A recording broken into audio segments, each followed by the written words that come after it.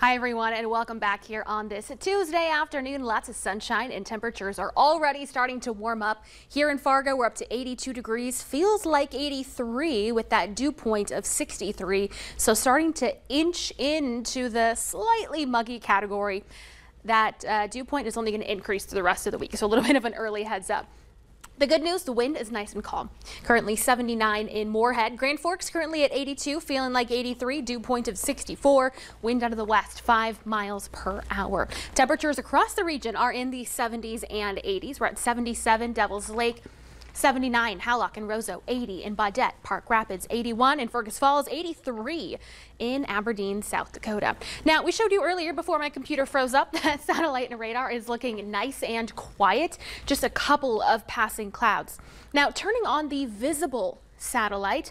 This shows us not only where a few of those clouds are popping up that not that are not detected as well by the normal satellite, but also I want to point out, see this kind of milky gray haze?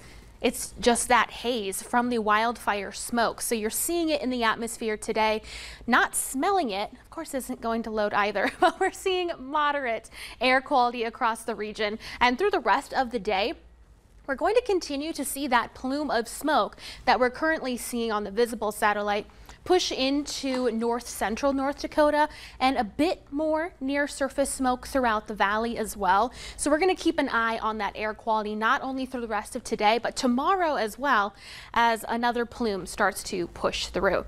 Looking ahead to your first alert forecast.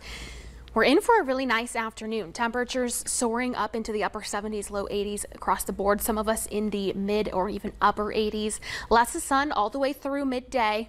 And then just like the last uh, better part of a week, going to see those isolated pop-up showers developing this afternoon.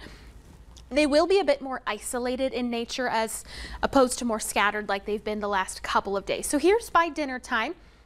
A few hit and miss showers and rumbles of thunder, and that continues into this evening as well, gradually diminishing through the overnight hours. Then tomorrow morning to kick off our Wednesday, starting off with temperatures again generally in the 60s.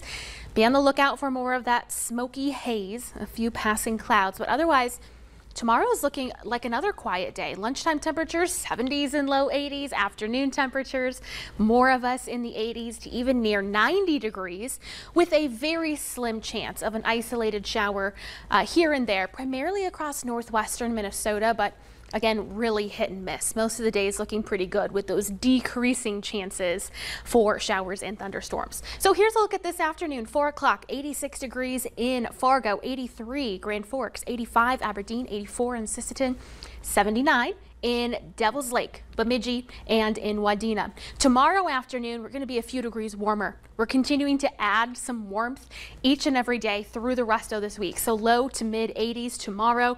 But look at this planning forecast here.